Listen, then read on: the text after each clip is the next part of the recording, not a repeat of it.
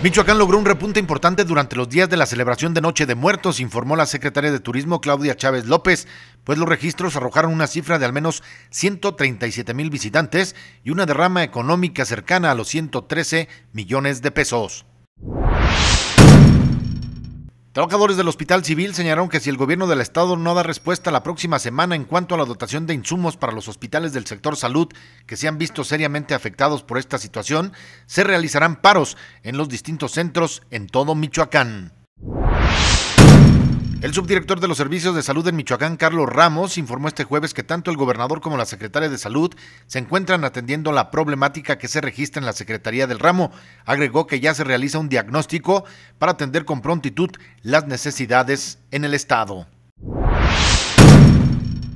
Michoacán ha logrado cumplir la meta de colocación laboral en este año 2016, informó el titular de la Secretaría de Economía, Antonio Soto Sánchez, pues a la fecha, apuntó, se han logrado colocar a 23 mil michoacanos en una fuente laboral.